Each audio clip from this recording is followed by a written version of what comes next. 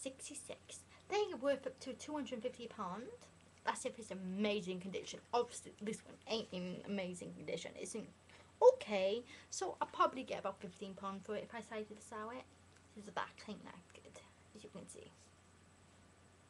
You can see some down, some leaves at the bottom, but that not really good. okay, thank you for watching. Bye.